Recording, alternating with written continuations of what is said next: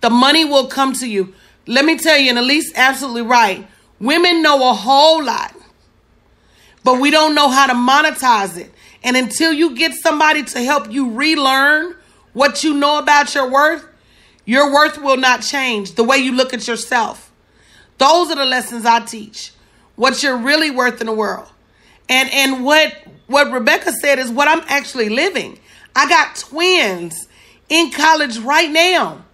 I pay it's it's it's crazy because I wouldn't have been able to do this at a job. So it's a blessing and I thank God for it. But I pay $1,800 a month for Hope's tuition, $1,700 a month for Faith's tuition, and they both have apartments. I pay 750 a month for, for Hope's rent and 700 a month for Faith's rent. I just bought both of them cars, cash, new cars. I pay their light bill. I pay their water bill. I pay their phone bill. And all they got to do for mama is make the dean's list. Because I tell them if you don't make the, ten, the dean's list, you're going to lose your scholarship. The bottom line is that you don't know what you don't know. And if you don't make the investment, and the black code light starts in the morning, bit.ly slash black code. If you don't make the investment to learn something different, you're going to always be where you are. Uh, I don't know why women don't feel like we need to learn, and especially from other women, but but but you do. Rebecka, what do you think about that? You have to constantly be learning. Um, for one thing, you go stagnant. I would say a year and a half ago, I looked at a coach, um, uh, Peter Wynn out of Las Vegas. And he was going to offer me free day at his conference, but it was going to cost me $22,000 for three more days of coaching. And that was all I was going to get for $22,000. And I said, out of my price range, not going to offer me enough, don't need this. And then I found you on Facebook. And I probably listened for a year before I actually signed up for a class. Um, could kick myself in the butt for waiting so long. but it, it's been I've gotten more than $22,000 worth of information. I know I have a membership group opening up. I know I have a class planned for the 1st of January. I know that I have um, one of my authors, because I have a small press, one of my authors is adjunct faculty at Oakland University in Michigan. And she has said they just have opened a creative writing program, and she is going to help me get a weekend um, writing seminar because I'm an alumni. So she thinks, why not bring in an alumni who has some experience and, you know, let them teach. So what you learned, what you learned really from me, and guys, what I teach all of you is we turn over every rock for money. A lot of you are living a million dollar lifestyle right now. You're doing a million dollars worth of work. You're offering up a million dollars worth of help. You're doing a million dollars worth of support. But oh, when you call the bank, your million dollars is not there. Mine is.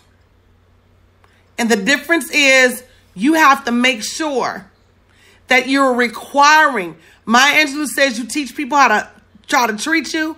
I say you teach people how to pay you.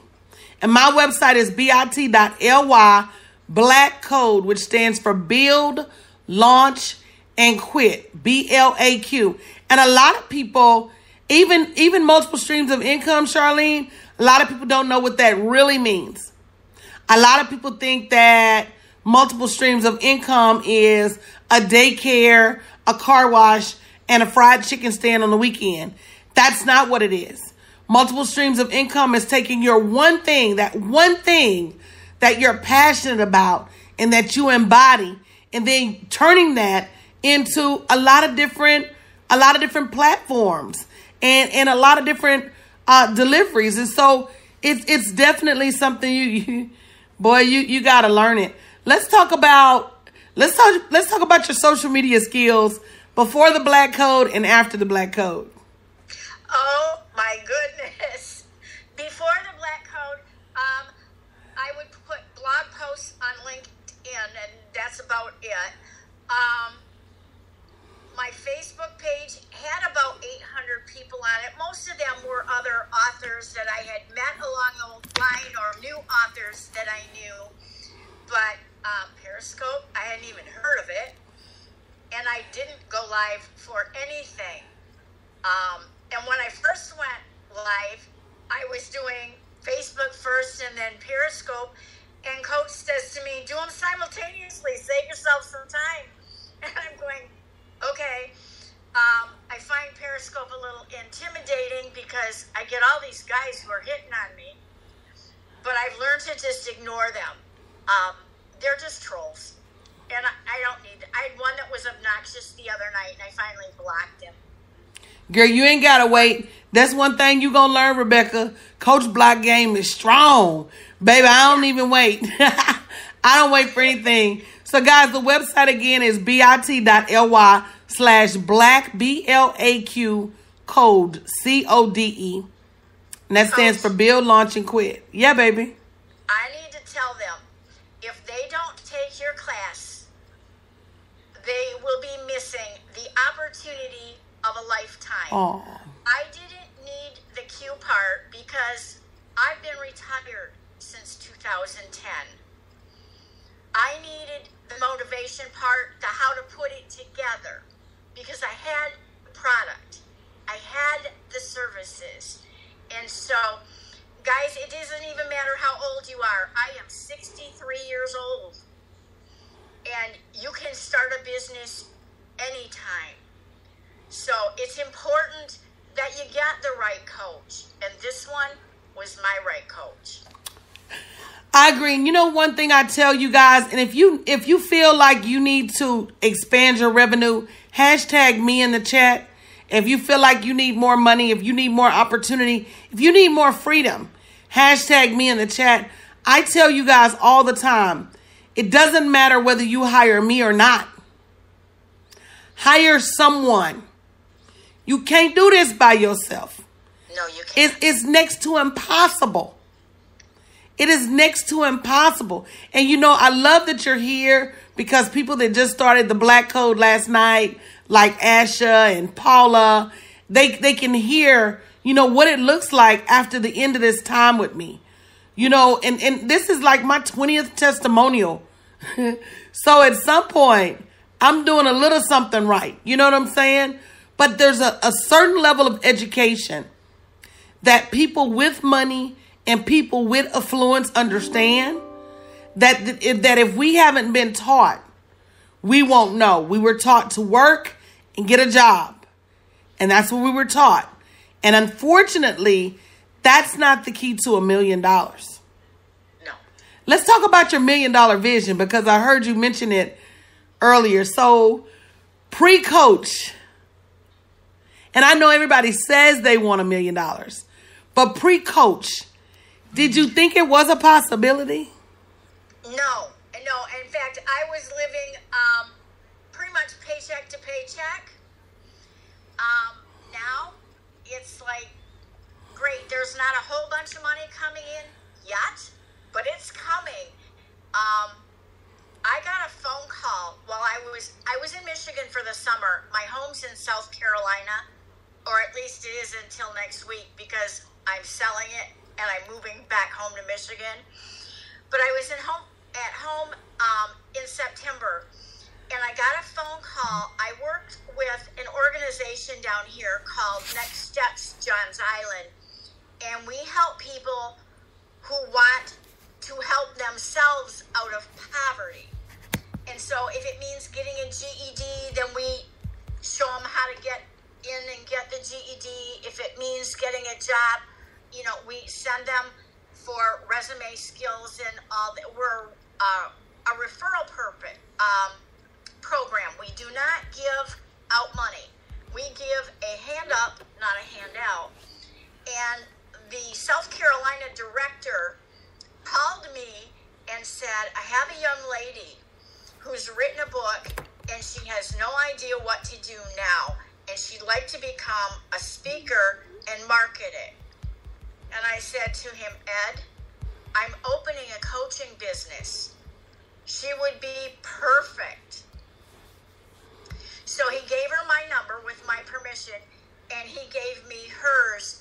And we have talked a couple times, but she's so busy pursuing, um, oh, who are the speakers?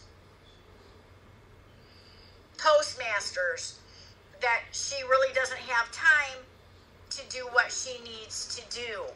And so, um, we are not going to connect as client and and coach, but at least I talk to her. Right. And you know, not only that, Rebecka, here's what's going to happen. The uh people are going to keep coming and coming and coming and coming. Every person you talk to is almost like an internship. It lets you know what to say the second time and the third time and the fourth time. But you're making waves. And as long as you keep splashing the water, things are going to happen. And that's what's happening with a lot of us ladies and men. We're not splashing the water. We're not we're not moving forward. Everybody that was in my class last night was uncomfortable. Every single person. And I'm sure if you think back, Rebecka, to your first day of class, you probably were like, oh my God, what did I get myself into? Actually, no, because the first assignment was to write an ebook, and I'm going, oh, I got this. I cranked out three. now, even with that, because you were a writer even before you met me, but in using the process I gave you, did it did it make it easier for you to think about this whole book writing process? Oh, it did. It made it wonderful. And, and don't mind me, I need to charge my phone, so I'm wandering through my house. Um, it, it was great. It made it really and I'd been struggling with how I wanted to put uh, a writing class together. And it turned out that the first ebook will never ever be an ebook, probably, but it will be the basis for workshops. Yeah, it, it helps you get. Even Bishop said that the other day. I said, uh, I told Bishop in class that he had to write a book in seven days, remember? And he was like, How am I going to do that? But, you know, here's the thing if you trust the process and if you allow yourself to be educated by the process, you're not going to only have a better understanding of your value, you're going to have a better understanding on how to build that value in the world and bring that value to life. Guys, you, you, you got some choices to make. And some of y'all have been watching me for a year, two years, three years. When are you going to jump the broom and say, I'm tired of being on this side? And let me see what the. somebody actually even asked one of my clients, What's the draw? Why is everybody so hype about Danielle Winningham? Really, what is it? And so if somebody asks you, Rebecka, and you know y'all a fight over me. So once they took they they they they riot gear off, because don't be asking no questions about my coach. You understand me? Once they took their riot gear off, they were able to give an answer. So if somebody would have asked you, Rebecka, why coach? Um, because you talk to me like I'm a, a person. Um, you explain things clearly, if I have questions, I know I can ask, and I do. I definitely do. Um, but the, the the whole process is is really when you break it down simple. You just have to know what the process is. You don't know what you don't know, and you don't know the blueprint. And it's like, you know, I have a bachelor's degree, I have a dual master's degree, and I have advanced coursework in leadership, and I didn't know any of this stuff you were telling me. and it's like, where have I been all my life? You know? It's it's not that. So listen, guys, somebody has to go through the fire. Uh, it's a book that calls it the hero's journey. I can't remember what book that is, but I love that. Somebody has to go through the fire and bring the talisman back. Somebody has to take the lumps, take the bruises, take the licks, so they can tell you, girl, don't touch that stove. That stove hot. No, no, girl, don't go to the left. It's gators over there. And once you've done that, you literally have a map of where to go and where not to go. And that's what I give my clients. I give them the map.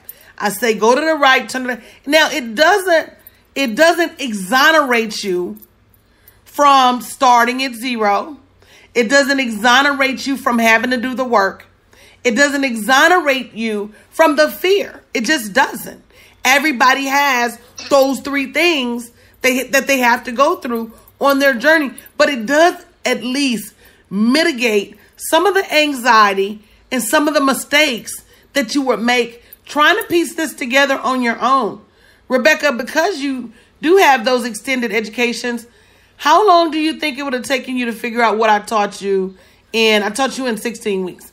How long do you think it would have taught you? Oh, it would good took- Lord. I, I'd still be trying to figure I mean, it would take probably two to three years. And, and that would be of intensive immersing myself Mm-hmm. in marketing and everything. Social media. social media